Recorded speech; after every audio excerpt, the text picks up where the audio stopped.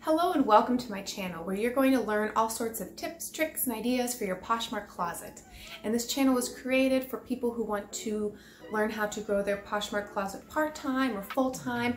And I created it because I started seeing success in my closet and I wanted to share the tricks and tips and ideas I was using. I'm getting repetitive tips, tricks, and ideas. But let's continue. Um, so I created the closet just for people who wanted to make part-time or full-time income. And I did this because first I wanted income part-time, full-time with it. I didn't necessarily get on Poshmark to buy. I do like everything on there and I do want to buy, but I became on there strictly becoming a seller. And I did this to get extra cash and make a little extra income. So when I did this, I actually first started and had zero sales. I was very discouraged. And then later on, I actually looked online a few months later and realized I had a sale. But lo and behold, I was not looking on it, I was not active on it, so what happened? I actually missed it and she canceled it. Uh, that I was very mortified. One, that's embarrassing. Two, that's horrible customer service. And three, I was just like, yeah, that's just horrible. You just can't do that.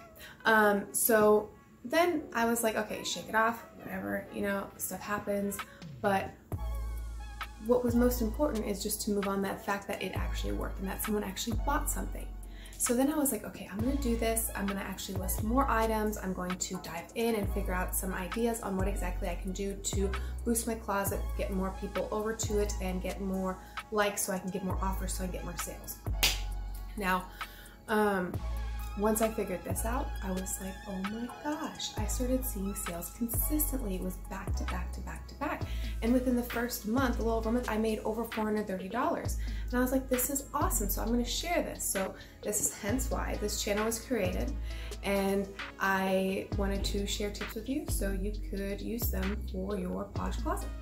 So, and you'll see that from me, that weekly I will release a video for you that you can use, uh, whether it's a haul I'm doing, whether it's a tip, whether it can be anything related to fashion, Poshmark, anything that's going to help you grow your closet or interesting for your closet. So, and you'll notice something a little bit about what I like to do. I like to have notes, so I don't necessarily like to cut and edit my videos out. I like to just record everything at once.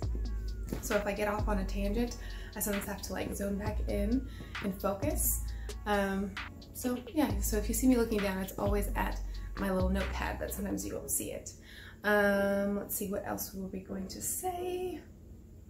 Um, yeah, so with that being said, uh, I introduced myself. My name is Christina Spohr, and I, oh, make sure to, if you haven't joined Poshmark, make sure to use my code, Christina Spohr, and I'll leave it down below, and you'll actually get 10 bucks when you sign up at the closet. So, uh, with that being said, I will see you in the next videos and subscribe so you don't miss out on any videos that are published in the future.